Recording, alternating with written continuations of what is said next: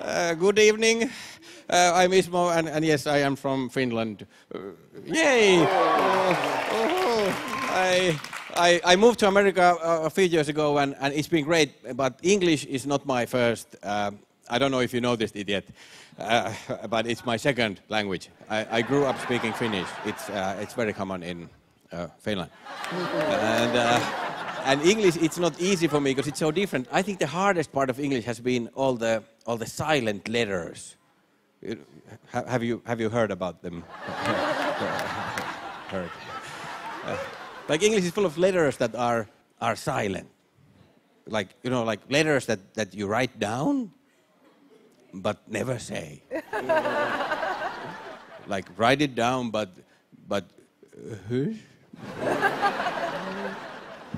this letter is only for the paper. It's not for your mouth. it's a silent letter.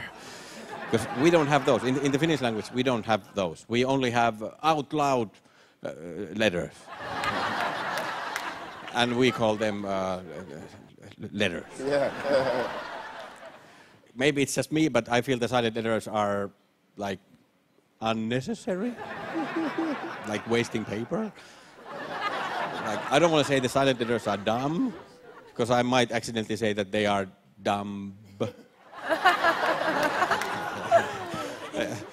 uh, but here's an idea. Since there's so many silent letters in English, why not also then have silent numbers?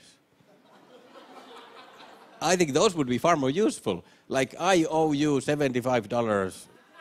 Ah, but the seven is silent. Thanks a lot. Thank you.